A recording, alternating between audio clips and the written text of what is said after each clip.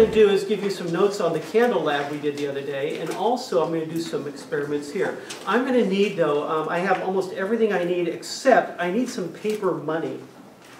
So if someone has like a a hundred dollar bill, they can, do you have some? Yeah. All right, bring it up, sir. I promise I'll give it back. He didn't even ask me to give it back. He, I got money here, Yeah. but I will give it back to him. I have a twenty dollar bill, but. Don't burn it. Kinda got burned. Oh, what, you don't have something big? Oh, you can get a This would- sharpie, this put two zeros. Okay. Now, I said that um, I would give this back to him, right? And I will.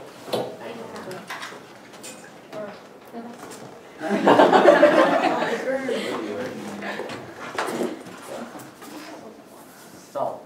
Oh, what is that? Salt. All right. Now, the name of this lab is called Candle Notes or Money to Burn. Copy it down, please. Yeah, he might want this back for his lunch today, huh? So I better get this back to him.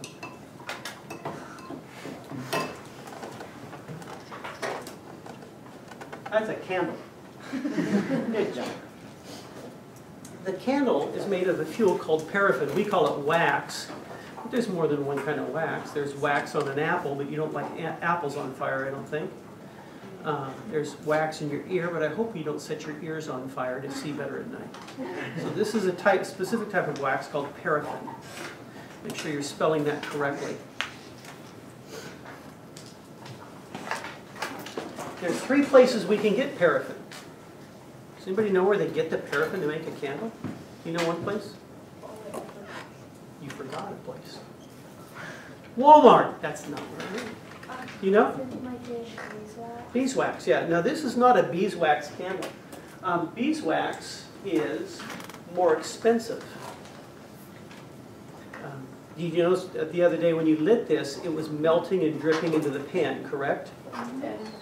Okay, well, it turns out beeswax burns really efficiently, it doesn't drip.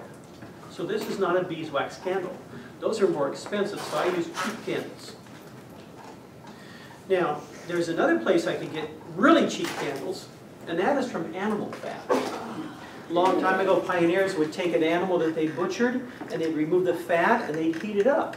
You know what fat does when you heat it? It, it melts, it turns to a liquid. And they dip a string into that liquid and get it soaked with fat, and then they let it cool off and harden. And they dip it again, they keep doing that until it's nice and thick.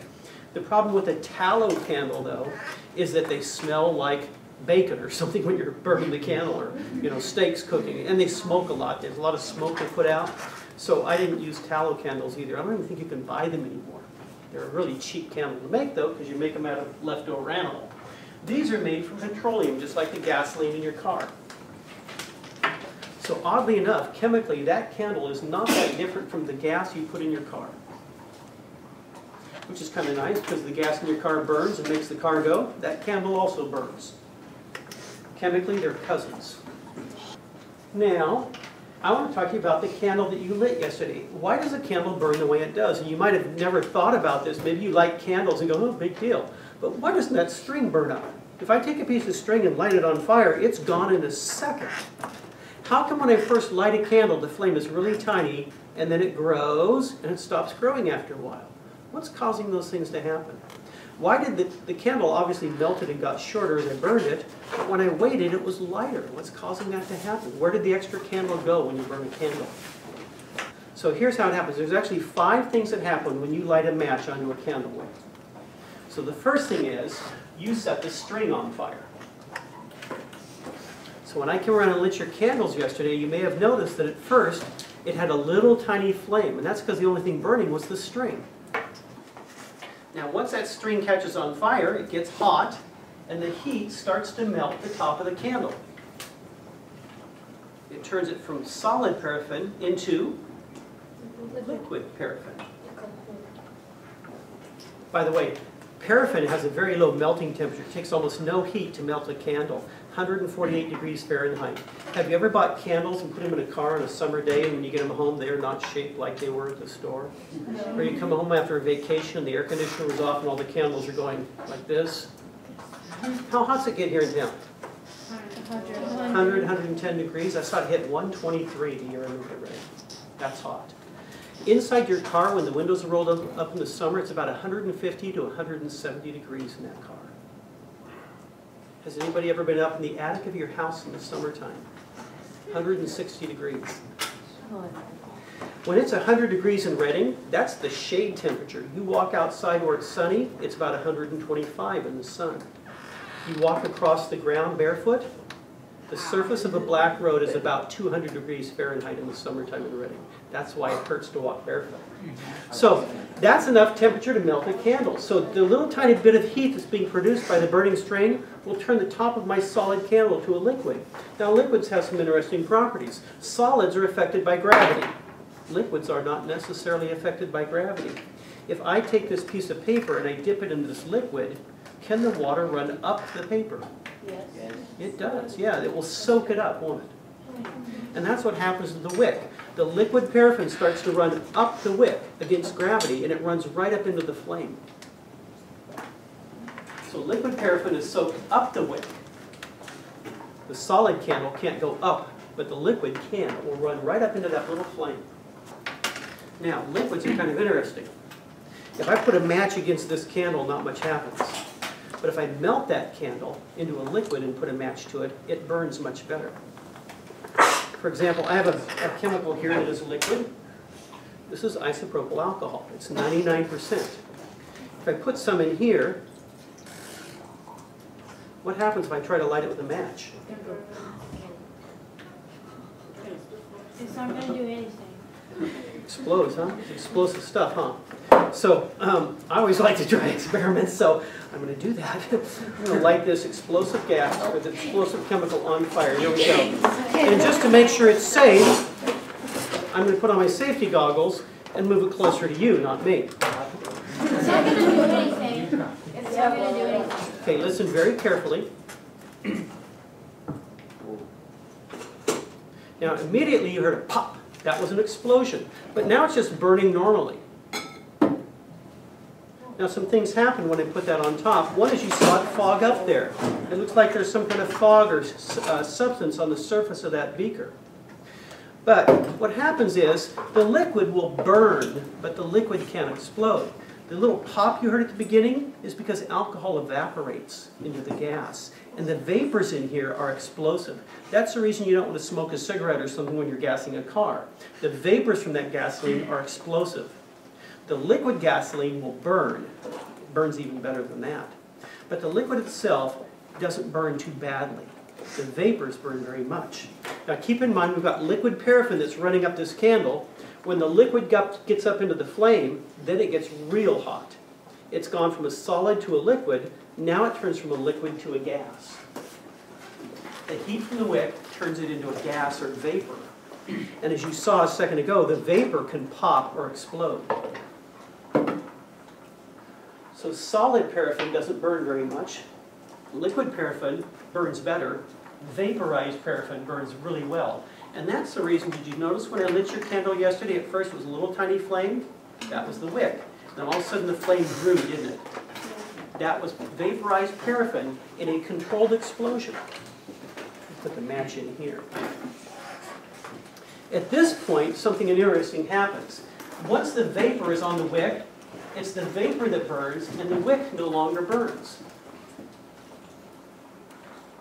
The vapor can combine with the oxygen in the air and burn very nicely. And that's the reason the candle flame grows. So at this point, you're no longer burning the wick, you're burning the gas, paraffin gas, just like your car burns gas.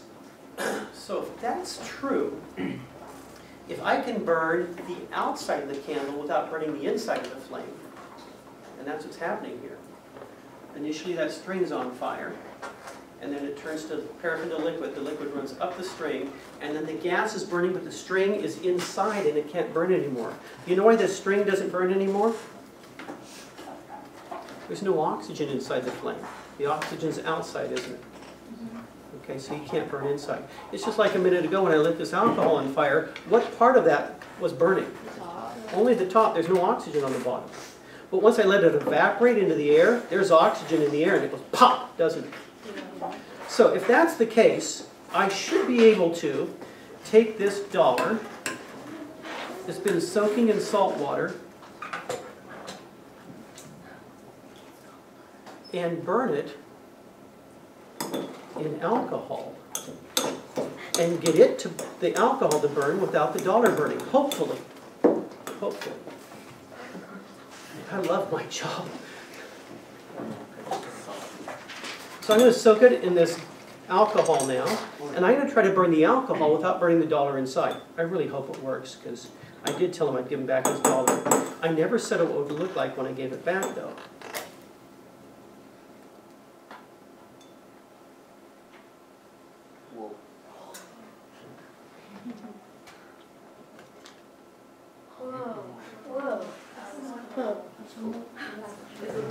Now, here's the, it's mostly dry. Here's the reason this worked. Salt water is fairly heavy, and I let it soak into the dollar so it was inside the bill. Alcohol is lightweight, it's lighter than water. So it literally floats on the surface of the dollar. The dollar itself has water in it. So when I light it, the fuel's on the outside of the dollar, not inside it, and the fuel burns right off. Now, it did get hot because now, that's dry, isn't it? The heat completely evaporated the water out of it, but it did not burn the dollar. That's the same as when you see a stuntman in the movies. It's on fire. They put a fire suit on him, and then they coat that fire suit in fuel, and they light it on fire. What's burning? The fuel. Now, if they don't put it out soon enough, eventually the fuel will burn out and the suit will catch fire. It did burn a little bit at the edge, huh? Singed it. Okay. Um, and the other thing that a stuntman has to do, I've heard, is they have to put baby powder all over their body. Because the heat from that fire will boil their perspiration. If they get, if they get scared and nervous and they start, start to sweat or perspire, the heat from that stunt can boil their perspiration on their body and scald their skin. So they have to stay calm and completely dry inside that suit while they're on fire. And there's a fire crew around with a fire extinguisher, just like I had one handy, Mrs. Just in case something goes wrong, they can put out that very quickly. Because once the fuel burns off, it can then start to burn other things. Had I gotten enough fuel on this, once it dried out the paper, it would have started burning it, wouldn't it? Yeah. But fortunately, the fuel burns out before it can completely dry the paper. Here's your dollar back, sir.